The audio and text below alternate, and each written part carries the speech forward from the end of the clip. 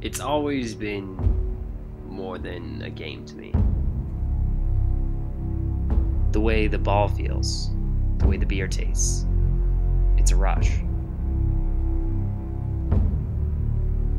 They say the first nine cups don't count, just the one.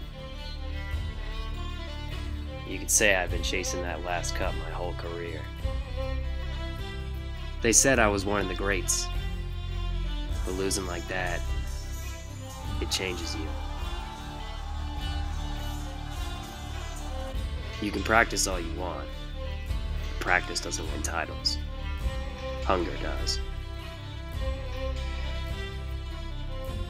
Hunger gives you the drive to be stronger, the will to hit more cups, the strength to drink more beer.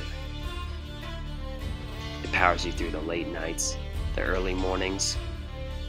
Hunger keeps you alive. And only one thing can feed that hunger